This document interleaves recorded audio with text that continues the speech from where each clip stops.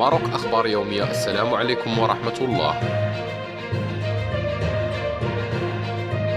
زار الرئيس الجزائري عبد المجيد تبون اليوم الأربعاء زعيم جبهة البوليساريو الانفصالية إبراهيم غالي الذي يخضع للعلاج من مضاعفات إصابته بكورونا في مستشفى عين النعجة بالعاصمة الجزائرية.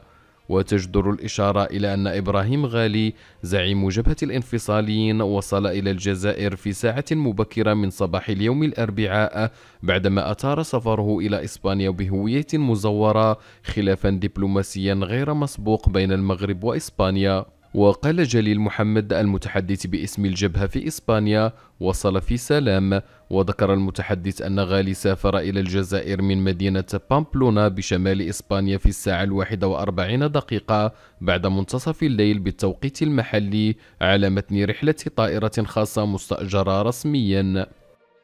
نشكركم على حسن الإصغاء. إذا أعجبك الفيديو المرجو الضغط على زر الإعجاب.